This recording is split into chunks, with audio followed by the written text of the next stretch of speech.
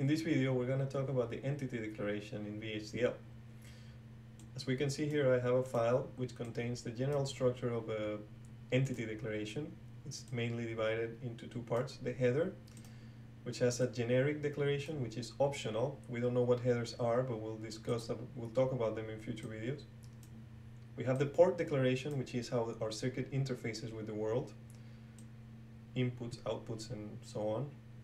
Then we follow with the declarative part, and this declarative part is where we declare any signals, variables, and functions that might have to do with our entity, and they are all optional, so we don't need them, and we won't be using them for now. We will use them later when we get into more complex entities.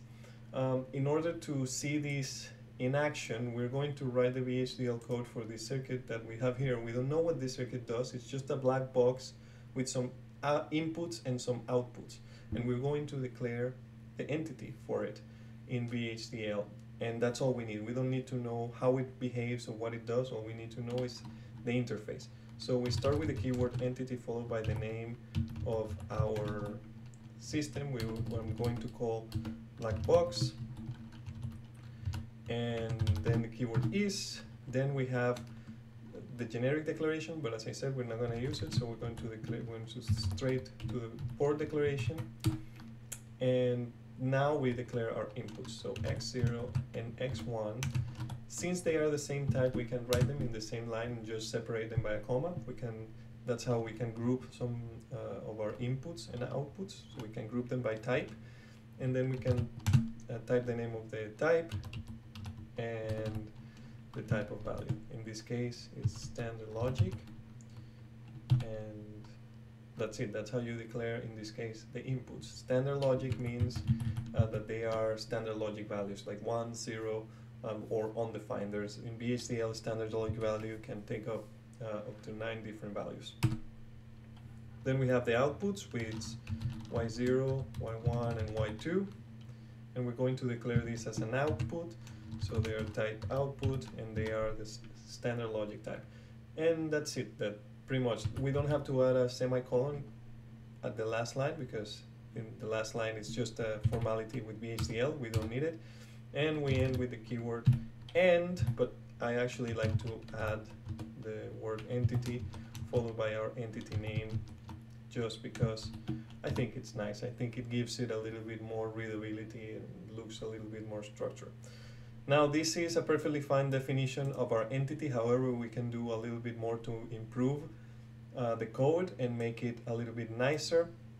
So the first thing we can do is turn the cat the, the turn the keywords in our program to to upper caps so they're easier to dis distinguish from the other from, from the other signals that I have described, in this case are inputs and outputs.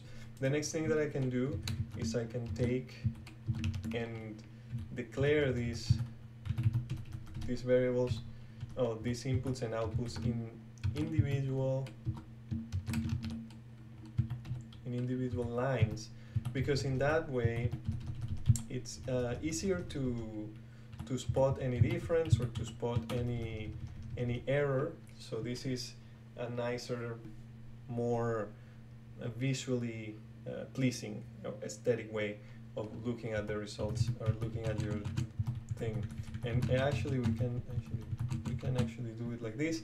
And this way, it looks even more tabular. It looks a little bit more structured, and it's easier to read. So we haven't changed our code at all. We just made it easier to find information visually in it, which is very helpful when you are debugging. Anything we can keep improving our code by adding any comment. We can do that by adding two dashes uh, at, at any point in our line that will turn anything that's after the two dashes into a comment and then we can uh, enter any important information that's relevant to the code uh, there. I mean this is probably not very relevant to, to write here but I'm just I just want to show you that you just write that. And that concludes our tutorial for how to write an entity in VHDL. Thank you.